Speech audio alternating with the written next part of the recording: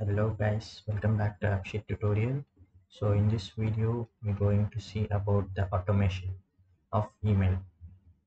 So automation is a bot. Here you can define the events processes and tasks. So i will explain what are this. So first we'll create a new bot. We'll name it as email automation.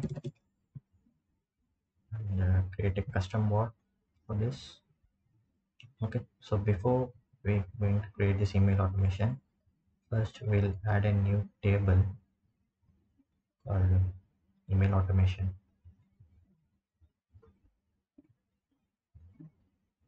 So here we're going to give the username and uh, the row of false yes or send email like a switch button.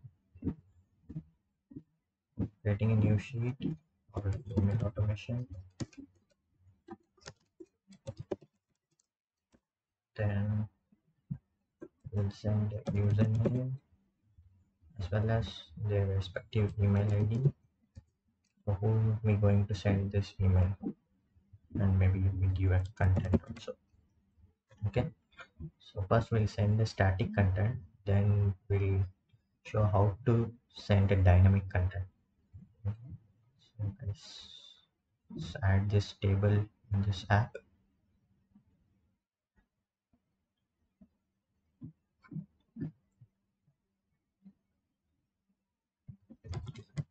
expression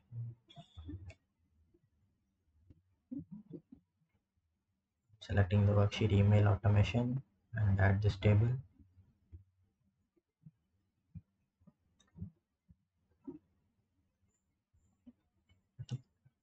Now we'll go to this automation bot we'll continue this.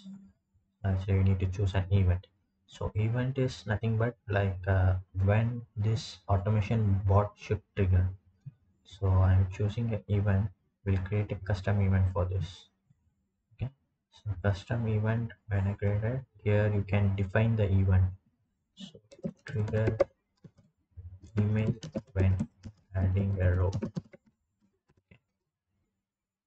So for which table? The table which we have added email automation. So in this table we are creating one event.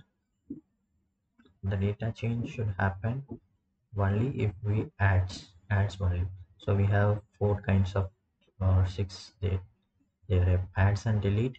So this event will trigger whenever you add or delete a row. And adds and updates whenever you add and you are updating any columns or adds only. So whenever you add then only this event will trigger. So all changes means both all the add delete and update. So respectively deletes only updates and deletes and updates so now we're going to use this data type adds only so whenever we adds a row in this sheet this email will trigger this email automation. Okay. So condition now as of now we will make it as uh, true i mean no condition for. So maybe you can give like a condition kind of thing. So only if email id is there or not. So that any condition you can give so that later we will see. So as of now we'll make it as optional one no condition. And so this is the email event and uh, now we need to create a process. So whenever this happens what we need to do? So we'll add a step and we'll create a custom step. So processes you can define lots of steps so first you do send an email and in the next step you can send a message or any data change in should happen in this sheet like that you can make additional processes so now in this demo we just going to send an email. So let's create a task. For this process we need to run the task. Okay so if you select this run a data action so you may you can whatever you have created in the behavior actions you can use here. Okay, so this is the run a data action. Or you can branch the condition. So you can give the condition. If that condition satisfies yes means it will go through this flow or no means this flow. So this is a branch and wait for the condition. You can give any condition. Until this condition is true then we can trigger this process. Okay? And now we are going to run a task which is an email task email sending task. I'm creating a new task.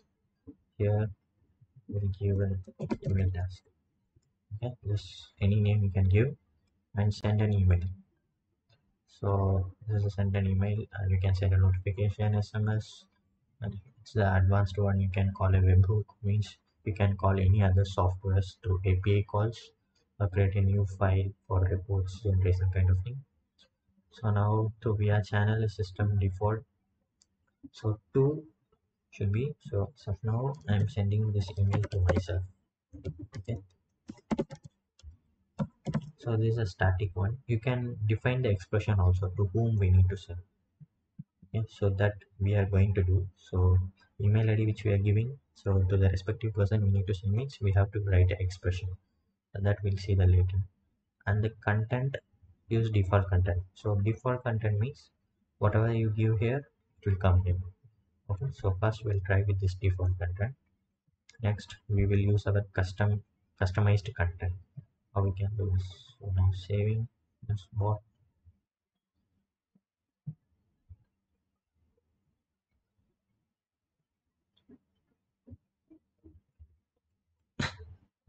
yeah now it's got saved let's test this email automation. That first in this ux integrate a view. Sending. For this data set. Email automation yeah so. Okay. Make it as most I will save this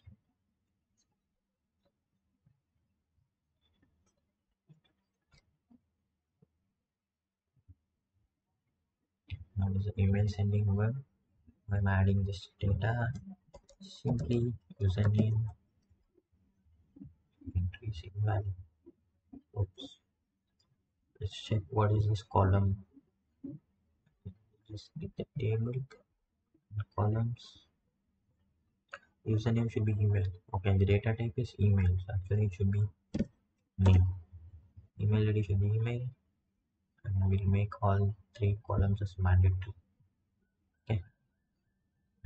content will be the subject that we have to define in the bot now we are using the default content. Okay. Save this.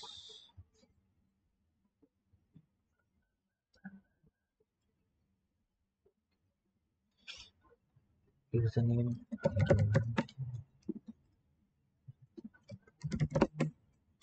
Id something and content is okay. so this email id now we are going to send only to this email id which means the default one. This new step will make this.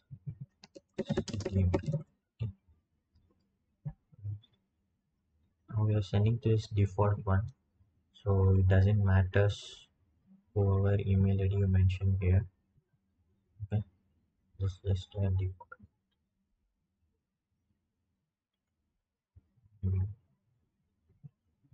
so now i'm saving this.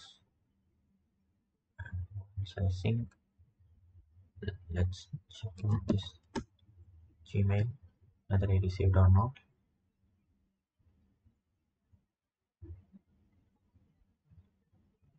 Yeah so we got the email. Let's open this see the username email id content we came here. Okay so now it's coming to this only to me. Now we'll make this email automation dynamically. Over the email id you are giving you should go there. Okay. So for that what we need to do is we need to deploy the app. Then only we can send to other email ids now as app owner it will send to me only for testing purpose. See this we have mentioned right now. so if we go to task info they mentioned uh,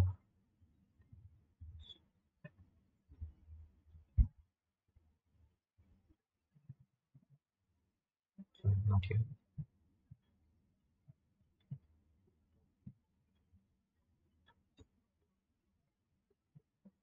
Here you have created this task right? So it will come here the events whatever you have created. Trigger email and the process you have created the task you have created. So everything whatever you created it will come here events in process in the respective tabs. Okay so now we'll change this to dynamically for that we need to use the expression okay? So, so the t is the text value this is a static one and this is the expression. So we'll click expression and we'll remove this email id instead of this we are going to use the columns. So the email id column. Okay.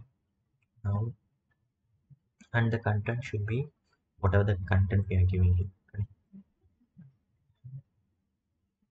so for that also we are going to use our custom content and email content. Okay, so we'll add it here. Email body. So every expression you have to mention within the quotes mark in the angular brackets. So less than less than and this. This is the email column content. So copying here and pasting here. And we'll say dear as a username. Whatever the username we're giving so username comma oops so the username should be given within the angular brackets. Then only it will consider as an expression. This is important one this angular brackets. So if you have given like this without angular brackets it will simply send dear username. It's things like it's a string. So you have to give within the angular brackets. Then it will work dynamically whatever you are giving the content type username. So let's subject should be test so subject we don't need uh, testing email you can give anything and if you want to give cc bcc anything you can give and pre-header this is the email preview. Can be seen in mobile apps. So whatever if you are sending the email which you are seeing in mobile apps. So this is the content will be seen in the mobile apps and you can attach pdf or so now are, we are using email body here. So instead you can use the template also. So template how you can use means you can create a file. So which will create a document file. So i'll show you the demo. I'm creating a file. So if you don't want to use this one you can use alternatively this email body template. So i have created a file. So we can view this. So it's created in google docs and you can edit whatever you want. So email task email automation. So this this is the one will get sent by the automation bot. So I see this the angular brackets is created automatically by AppSheet so this is the one whatever you are giving in the sheet will get automated here. And this is the alternative way of sending email body okay. So now we will remove this one we'll just send using this body okay. So others and all attachments we will see later. But now we'll send this one. I'm saving this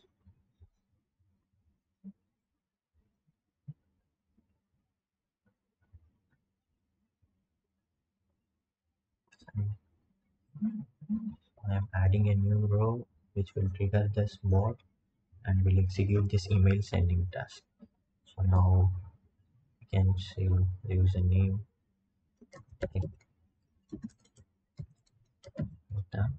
and mail id so again so this time i will do this to different another alternative email okay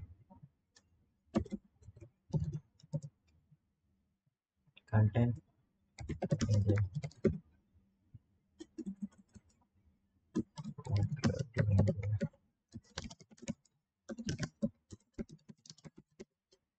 so something will give and save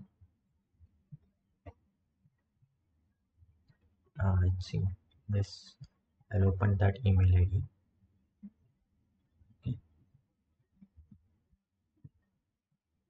so this is the email id which I have given my alternative email id but it didn't came because we haven't deployed yet so if you are not deployed it will go to this owner's email id only. Okay see? The testing email automation subject in here. See the dear Sweta hope you are doing good. So whatever the username and content we have given it came dynamically so but actually the problem is it came to me which means this owner email id but actually it should go this email id for that we need to deploy this app then only it will work correctly so we'll run a deployment check and we'll deploy. It no after this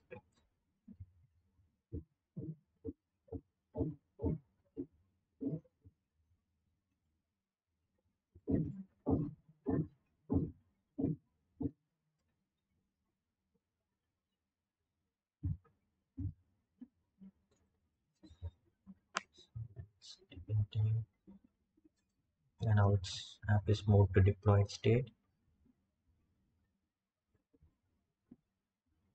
now we'll send another email like same to the same email id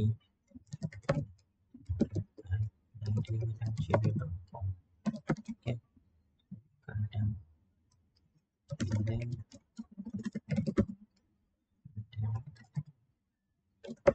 save it again so oops. This email id is already there. Okay so for, that we'll delete this one first. Because it, since it's a key column of email id either we should change this email id should key column or just delete it and again it. See this email id is the key column. That's why it's not allowing to give the same email id next okay